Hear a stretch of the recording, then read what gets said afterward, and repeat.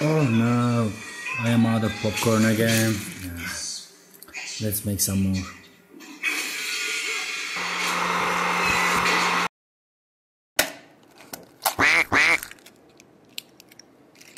I love eating popcorn while watching something. However, I'm quite lazy to make it, especially if it finishes in the middle of a movie or TV series. I search on the internet for a popcorn maker which I can control with my phone, so I can just continue watching the TV, but I couldn't find one. Then I decided to make one for myself. According to the Wikipedia, when a corn kernel is heated up, it expands and poops off. It needs around 180 degrees Celsius to pop a corn kernel. Basically, I only need two things First one is a heating source which goes at least up to 180 degrees Celsius and second one is a way to distribute the heat to prevent it from burning. Then I got in my car and visited a local store to see if they had something useful for me. I went directly to the lane where heating kitchen appliances are placed in the store, but I couldn't find anything which fits any of my ideas. When I decided to leave, I found something in a really unrelated part of the store. This is a cheap Chinese hair dryer. It was close to 6 euros, which was not that expensive. After opening the box, I removed the screws to see what's inside. By paying 6 bucks, you get a heat reflector paper and a heating element and a capacitor, a diode and of course a switch. On the heating element there is an overheat circuit breaker Heat breaker prevents temperature to go beyond a certain level for protecting your head from frying. I bypass this with a cable. I design a part to make a prototype for testing the heater. I left the bottom part empty because most of the corn kernels have small particles in it, and I wanted them to fall under the popcorn machine. For the air, instead of getting it from the bottom, I left air pockets from the sides of the mounting slot for the heating element.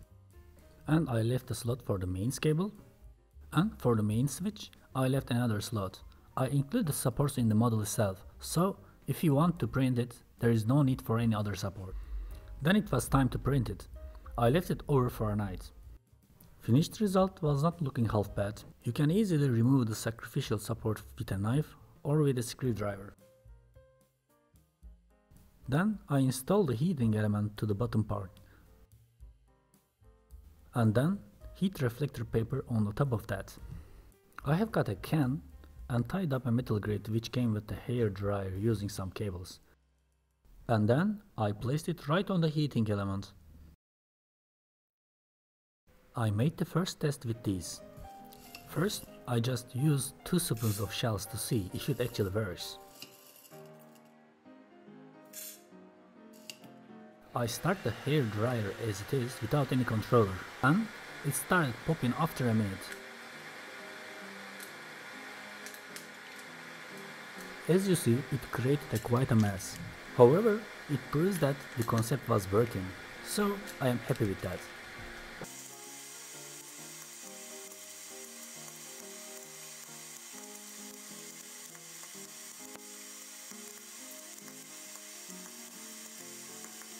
Some of the kernels did not pop up properly, because they were staying close to the walls of the can, so it is a really nice detail to know before designing the upper part of the popcorn maker.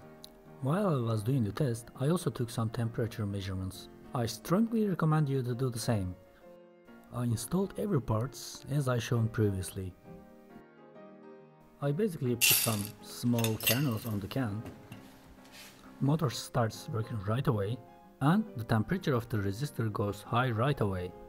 When the temperature on the kernels reaches around 180 degrees Celsius, you start seeing the first pops.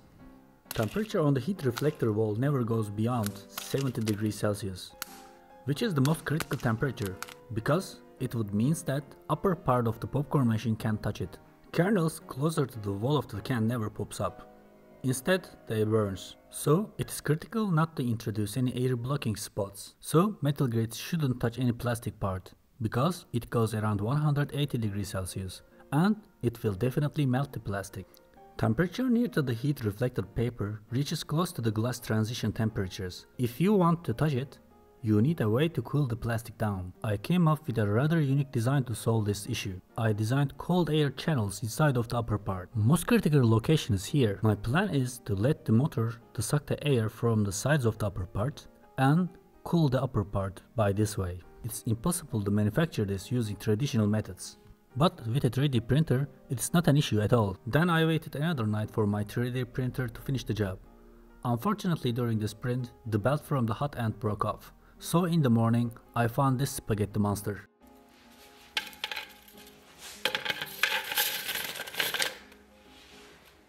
Hmm. Looks perfect.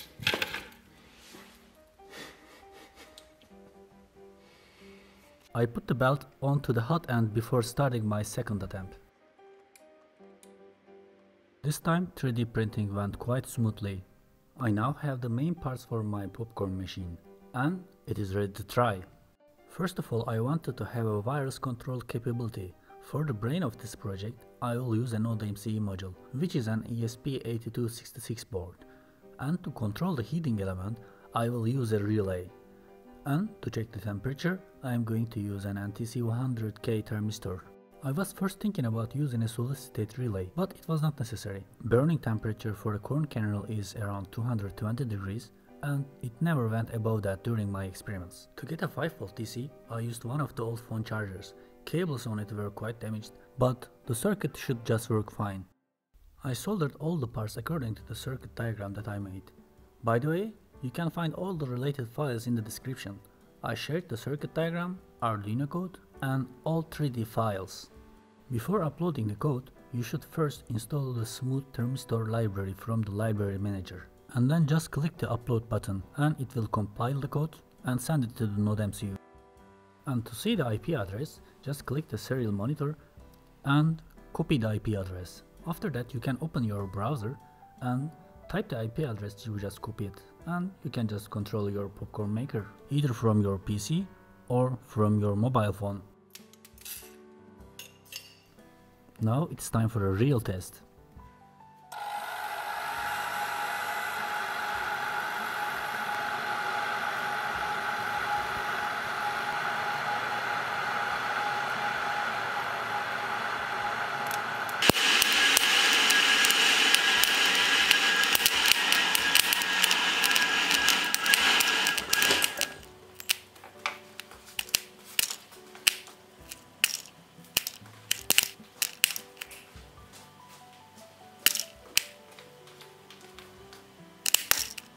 In this test, kernels popped up mostly okay, but there were too many burnt ones.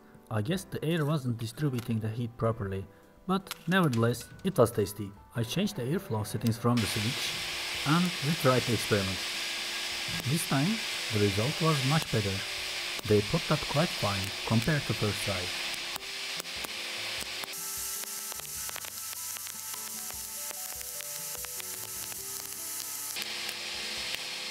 There were only a few unpopped kernels and most importantly, there were no burned ones. To finish the project, I designed and printed a suitable cup for the popcorn maker. And now it was time to make the final test. This time I put 4 spoons of corn kernels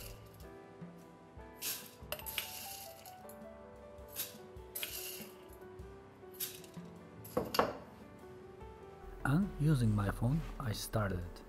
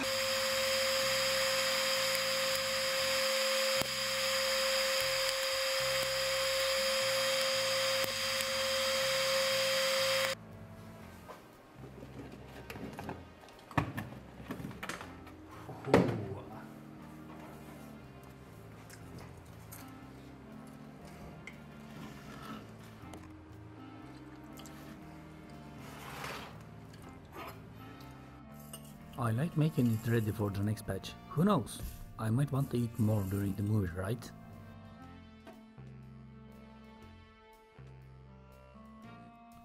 I should warn you though, if you make the popcorn maker yourself, you might make a lot more than necessary for your whole family. But I guess it's safe to say that I won't run out of popcorn again in the middle of a movie or TV series. Freshly made popcorn will be available for me anytime I desire popcorn. See you next time.